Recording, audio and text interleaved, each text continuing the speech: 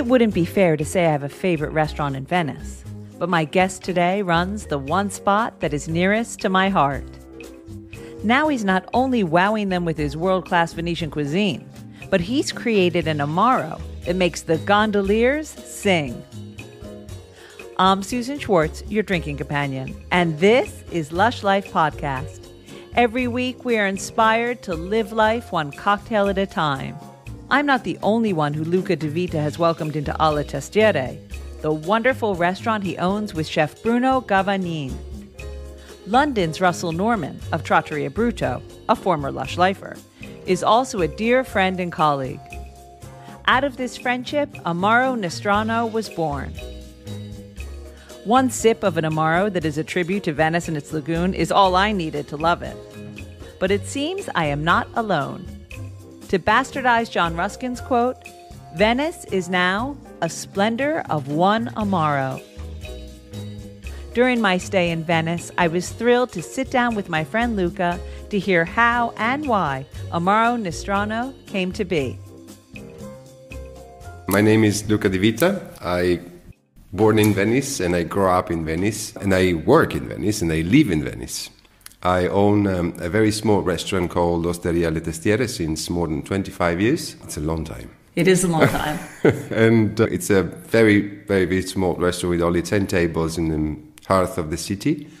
And we are always very, very, very busy, luckily. We mm, being Venetian, being grown up in, in this uh, beautiful place, uh, very peculiar, very different, I've been collecting a lot of friends and uh, I've been I met so many people from all around the world. One of them, with one of them, we, we got a really sincere and beautiful friendship. He's from London. His name is uh, Russell Norman. He's the founder of Polpo Restaurant and recently another new restaurant called Brutto.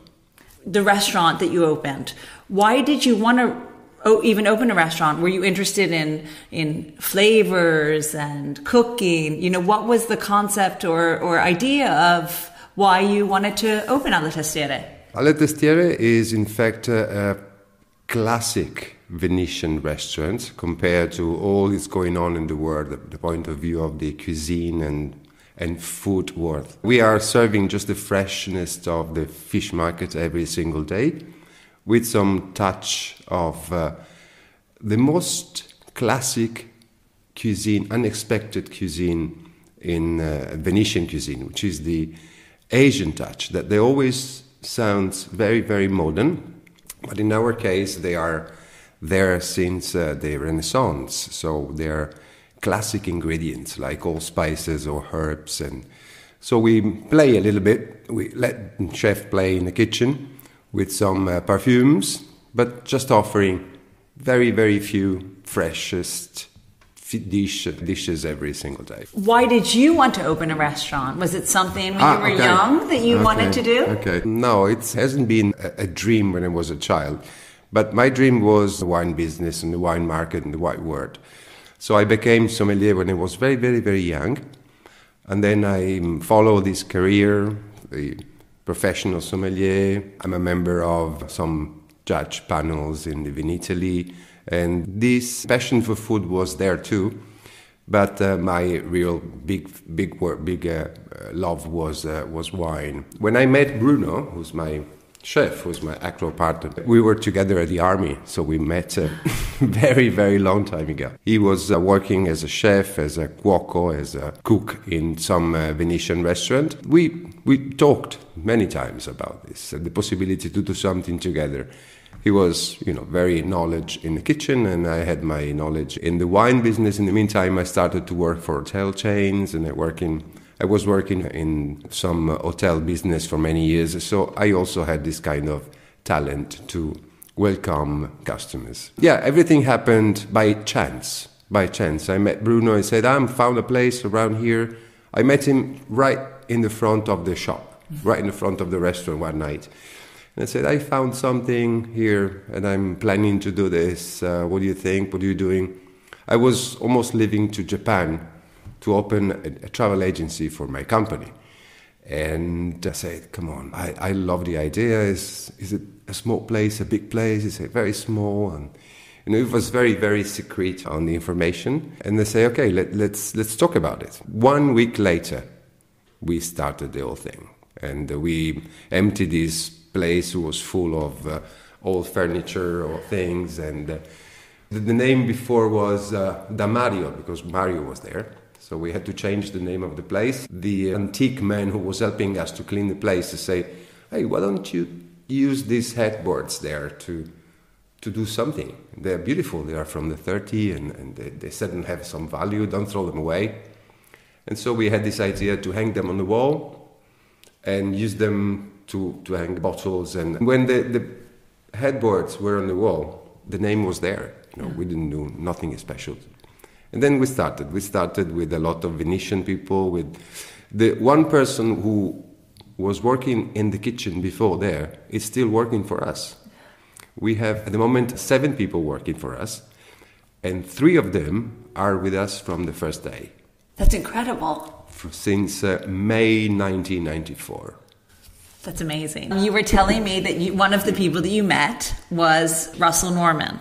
Many, many people from, from England, they discovered this place. And Russell Norman loved so much this place, but he's a big lover of, of Venice. So he um, got so many influences from Venice that he couldn't resist. He started to plan this uh, opening of Polpo restaurant. I mean, to move Venice to London and, and uh, started uh, to feed the Londoners with some uh, proper Venetian, I mean, real Venetian food.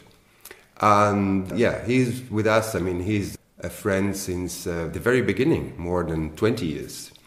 And we did so many things together and we've been cooking there. He's been cooking here. We've been doing something on boats. We've been really having fun of, of our job together. And this is the, a little bit the birth of Amaro Nostrano because one day in one of the usual uh, lunch, very big table in which Russell invites all his friends, we have chef coming, we have people from this business, and I said, Russell, we need to do something to celebrate our friendship, but something that we can share with some other people, not only. And he said, Oh, lovely, yeah, let's do that. Uh, and what? And something that everybody will have the possibility to enjoy and, and think and, and, and, love it, which is the most lovely and most uh, um, intense moment uh, of a dinner is the after dinner. So I said, let's do Namara. Let's do something when you finish your everything, when everything is gone, when comments about food, about wines is gone, it's there. And yeah, let's do Namara. Amaro. An Amaro that will uh, marry Venice and London, because uh, your love is here, but you have something to say from London.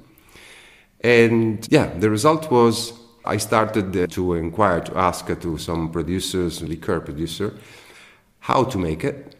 And they sent me down to um, Trieste, that has a very, very long uh, historical tradition of liquors and so many liquorifici, and being also in the middle, you know, of a, a very commercial area.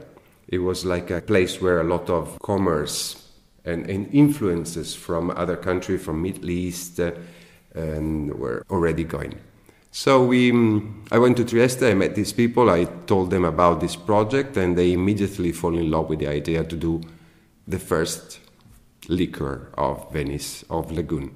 What I really um, don't normally like about Amari in general in Italy is that they are normally too intense and, and sweet, which is a, a, big contradiction. Come si dice in inglese? How do you say? Yes, yeah, exactly. A contradiction. You know, they are called Amari, bitter, but they are sweet.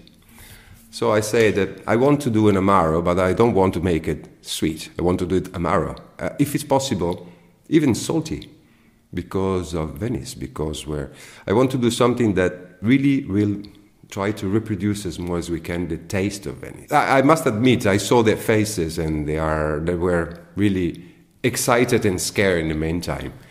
But they we worked. We, we immediately started to work. Other than salty, did you have any other ideas of ingredients that you were thinking that you wanted in it? The natural ingredients of the lagoon are um, normally already in our dishes, often in our dishes. So, um, wormwood, which is the santonico, no? the uh, absinthe, mm-hmm. the marine absinthe, the salicornia, samphire, um, salted water that we use quite often for our sauces, and the, it's uh, already inside all mollusks from the lagoon, clams, all kind of mussels, th- these things, crabs. They have a very special taste because of the very special taste of the salted water of the Adriatic, especially when. Uh, the water, like in the lagoon, is quite shallow. You have a big concentration of salt. And uh, fish and, and the fauna that lives in this kind of, of places, they get a lot of taste of this ambience where they live. So I say salt is the point of the whole story. So then let's make it proper Amaro style, like something that will make well no, you will feel well. Amaro is born like this in the in the 1800 for pharmacy, for uh, hospital, for helping people who are having health problems. So let's put in these things some essential oils or whatever. I mean, this is your job, I said. I, I don't know what, what to put it. That will uh, makes the Amaro healthy. The only thing I said is that I want to do something very natural. I don't want any moment of chemical in it. Often you see this terrible word on the Amari called aroma. Eh? When you see this word aroma, aroma naturale, it's even worse. I mean, it's there's no natural aroma. There's no aromas you can put which is not chemical. So I don't want aromas. I want infusion. I want very natural, like you make it at home for yourself. Russell joined me he came to London. He came to Trieste, sorry, and we went to together to explain the the whole project. And then I'm, he said, I'll be back when we will have something to taste. I've been working for six months up and down Trieste. Every time we used to go there, we had like a 10 example, 10, 10 tasting. Yeah. Every time I cut seven and keep three for the next time, they uh, 10 again, 3 cut 7, 3 cap, and go ahead. They try to put in it so many things, but always natural infusion. In uh, Italian, they're called alcolati. I have no idea how they are in English. They are infusion distilled. And we met these people who make the infusion, who are also in Friuli, using uh, natural products. So I've been checking all the sources of all single ingredients. We've been selecting the right juniper, the right materials for every single aromas I mean every single taste, sorry, in the in the liquor. Choosing the best and the most natural. So at the end, the, the very end, I call Russell and I say, I think we are on that way. He came uh, to Trieste and it was a very, very, very rainy day, so bad. Something special was happening that day, for sure. You couldn't see uh, like 10, 20 meters. And we got there and we got these final five things. And we've been tasting and asking them to add a little bit, to take off a little bit, make it a little bit more of this, a little bit more of that. At the end, the balance was I presume, I think, I hope, the very good one.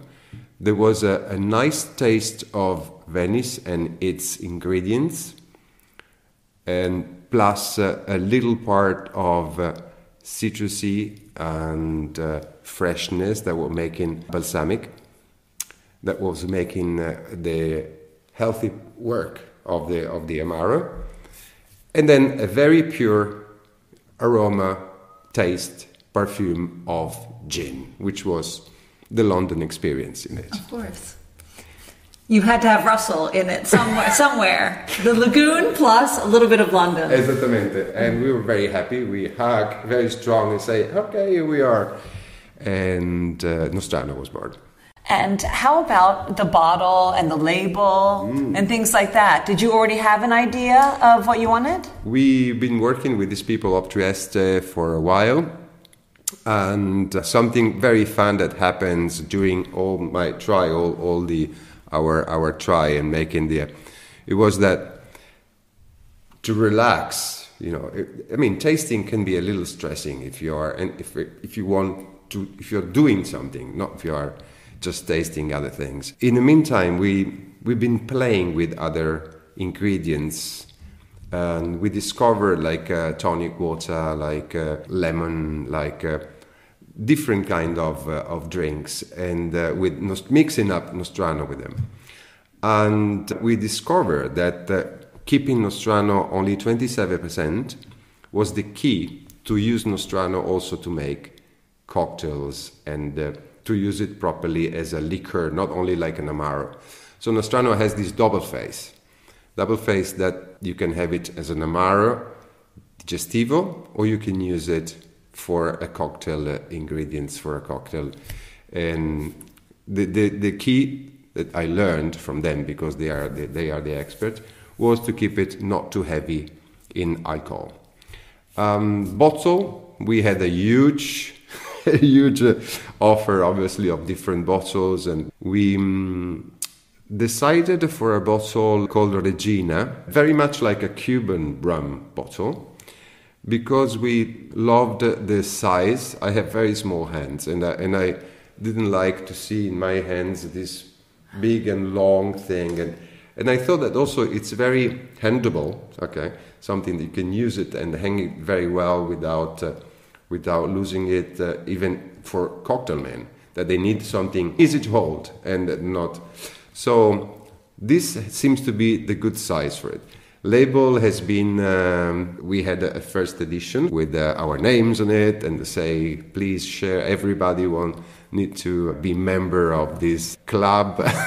and, uh, and then uh, now the label is uh, a little bit more, I would say, um, in Italian we will say riconducibile, but it's, uh, it means uh, will bring you in the place where everything started. So it has a lovely draw from a comic man quite known in Italy from the lagoon. And it has all the ingredients, everything the law obliges to put in it. It's a lot for so many, so many indication, so many. Um, the suggestions how to drink it. If, wait, wait, first, ever. one more thing, yeah. very important. The name. Ah, okay. How did you come up with the name? Then we'll talk about how to drink it. Okay. I must tell you that Nostrano is our piano B. the plan B. okay, we had a list of names. Obviously, I made my list uh, and Russell made his list. Nostrano was uh, the top of his list. Mm. And in, in Italy, Nostrano reminds you immediately two things in Italian a very good cigar. It's called Nostrano del Brenta, and uh, in general, salami. Oh, funny. So in, in Italian, the word Nostrano is very general, and it doesn't give you exactly the. Uh, apparently, in English, it works much better, and it, it brings you to something local, something ours, something that we made, but not only for us. My first idea, the piano A, was different, was Nostramaro. Oh. That means Nostramaro, our, our Amaro. Oh. But unfortunately, it was already registered. oh no, our oh, no.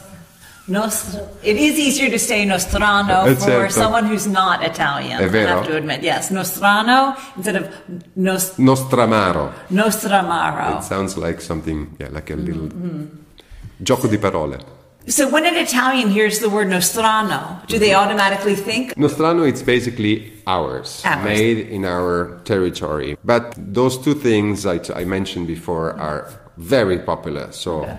The Nostrano will need to climb a little bit on his, uh, on his uh, notorietà, on his name for to become famous like the Brenta, the Brenta cigar was Right. there since hundreds of years. So we need a little time. And look, you had to give Russell something, right? You give Russell something. If it's his top plan, right? Esatto. Uh-huh. Esatto. I was very happy that uh, my, my name was, uh, wasn't workable. I'm sure. But now I'm very happy of it anyway, because I, I really, after uh, a little time, I needed a little time to digest it. But now I'm very happy. Good, See. good. now you were saying about drinking it. Did did you have an idea of how you wanted it to be drunk?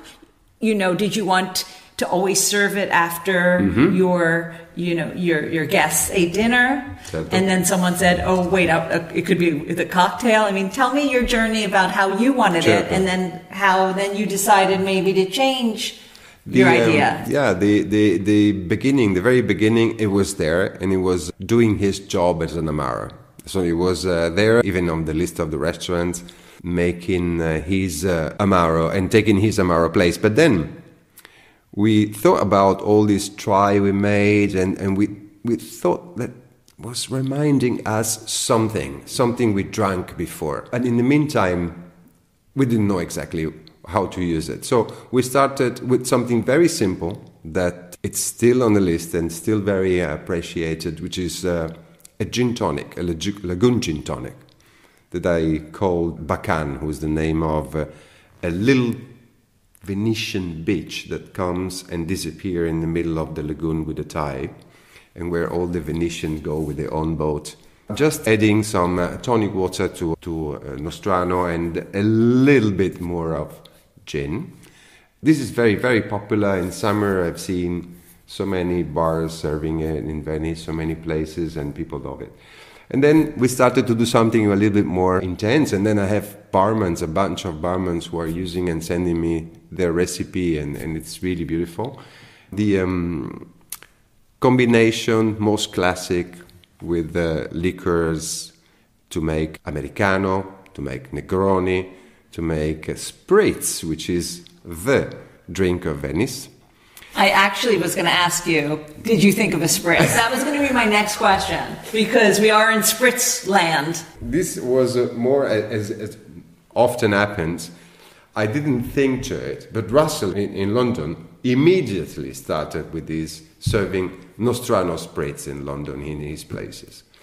And now it's to spritz and I think Negroni. Yeah, he's doing that. When he came here and we did a kind of presentation on the Edipo Re boat, I don't know if you've, it's about this beautiful wooden boat sailing and serving beautiful food around the lagoon. The um, idea that day, being in the middle of the summer, very fresh, was uh, with uh, at the place of Pimm's. Uh, you know how you drink Pimm's in London with some fruits in a carafe like this. That was really, really, really beautiful, and so it's has been added in the summer to our cocktail list too. So it's been an education from wine to Amaro to now cocktails. Esatto, I know it's, It's new word. All it's been very, very new, but exciting, and then surrounded by people who really know what they do, and uh, and open. It's it's open now. What I really like, and what we really like, is to keep it open to experiences and ideas, and of anybody who can invent something and just publish or whatever, or send us their their idea, the, how they use Nostrano, how they are part of the Nostrano world. so I know that you know everyone in England can have London can have it because they can go to Trattoria Brutto. But any any plans to have it anywhere else in the world? See, see, see. We have already a, um, a couple of distribution in France. It's uh, quite well distributed in north of Italy. Very, very soon. I don't know when this is going to be, but it's the day of the Carnevale this year. Nostrano will open his own website with his e-commerce and will be a little bit more social. We've been, we've been very unsocial until now. We've been very closed, a little bit like only for friends. But now it's the moment to make it more popular. We found one important in the States, in California for the moment. And with plenty of people. We are doing a presentation in Belgium this summer. It's, it's fun. It's like a, a, a new baby, you know, to take around the world and by hand like this. And and um, lovely, uh, some beautiful people. Well, as much as I love a cocktail, to me, having Nostrano, the fun of having Nostrano, is after I've had a meal at Alla Testiere. I must admit. So um, for all of for everyone to, to be able to come to Venice and enjoy first a meal and then Nostrano, that is like that's it. That's the Grand K, as you say. Grazie. But if they can't, then they can have a Nostrano cocktail. Uh, certo, uh, Absolutely. certo. They will find all the um, recipe on the website very soon, so they can play. And I'm always at their disposal. If they need a, a little help, they can just send me an email. I will help them with the really passion and love. All right. Well, fa- fabulous. Thank you so much for being here. Grazie, grazie a te. Thank you so much, Susan. Sure. It was so fabulous to have Luca join me on the program. I can't wait for my next plate of spaghetti alla vongole and then my perfect digestivo of Amaro Nostrano. Make sure to check out their website, amaronostrano.it, for more information. Which brings us right to our cocktail of the week. Our cocktail of the week is the Bacan, which, as Lucas said, is a tiny beach that only the Venetians know about. Until now. Just add 30 mils of Nostrano and 20 mils of gin to a highball glass filled with ice. Then, top it up with tonic water and stir gently. Lastly, drop in a lemon slice. So easy. You'll find this recipe, more Venetian cocktail recipes like the Spritz and Sgroppino, and all the cocktails of the week at a lushlifemanual.com, where you'll find all the ingredients in our shop.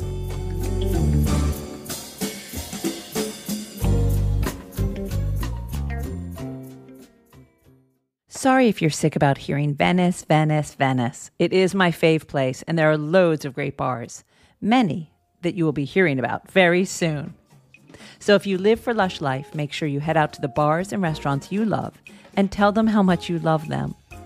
Theme music for Lush Life is by Steven Shapiro and used with permission. And Lush Life is always and will be forever produced by Evo Terra and Simpler Media Productions. Which leaves me to say the wise words of Oscar Wilde all things in moderation, including moderation, and always drink responsibly. Next week, you'll hear from a few folks who descended on Venice for Venice Cocktail Week. Until that time, bottoms up.